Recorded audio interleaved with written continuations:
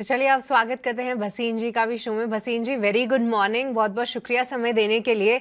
सबसे पहले तो सर बाज़ार कैसा दिख रहा है? देखिए अब दूसरी सीरीज़ की तैयारी हो रही है। आ, पर ये सीरीज़ में एक अच्छा रन अप हमने निफ्टी बैंक निफ्टी दोनों में ही देखा। जस्ट एक्सपायरी से पहले किस तरीके का आप ट्रेड देख रहे हैं? और आपसे एक बार वेदांता पे भी राय लेना चाहूँगी मैं क्योंकि आज सीएलएसए का अपग्रेड आया है।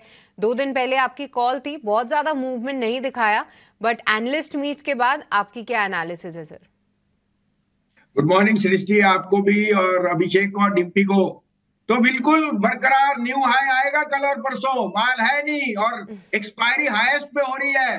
कल और नहीं तो क्या टीसीएस और टाटा मोटर ही चला दिए। तो आप और मैं सोचते रहेंगे कि कब करेक्शन है, क्यों है।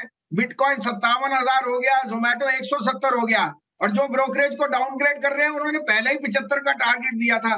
पिछहत्तर का एक सौ सत्तर होएगा तो आप क्या बाई रिपोर्ट निकालोगे? तो भूल जाओ इनको। जब बुल मार्केट है एक्सेप्ट योर मिस्टेक्स पिछहत्तर के ऊपर एक सौ पिछहत्तर पे आप सेल रिपोर्ट ही दोगे और क्या दोगे? ऑन अ लाइटर नोट दूसरी बात, Vedanta is a no brainer आपको बताऊँ सृष्टि, सारे इंडिया में एक ही निकल प्रोड्यूसर है, वो है वेदांता।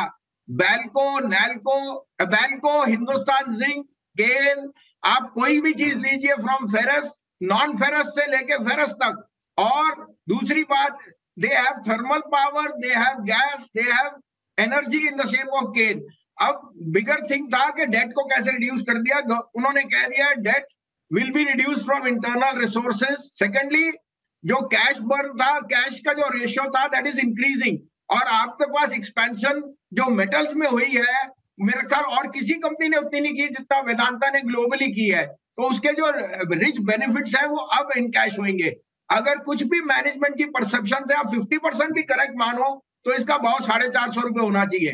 दूसरी बात तीसरा, इनको गोवा में ऑलरेडी कॉपर के सीसा गोवा को ऑलरेडी इन्वायरमेंट जो इन्वायरमेंट फ्रेंडली ईएसजी है, उसमें नंबर वन रेटिंग मिली है और उससे जो कॉन्ट्रैक्ट है वो भी मिल गए हैं। तो मुझे कोई दो राय नहीं एज अ डिस्क्लोजर वेदांता और जीएसडब्ल्यू पे हम बहुत बुलिश है, हमारे पोर्टफोलियो में है और हमें लगता है ये यहाँ से 50 परसेंट अपसाइड दे सकता है।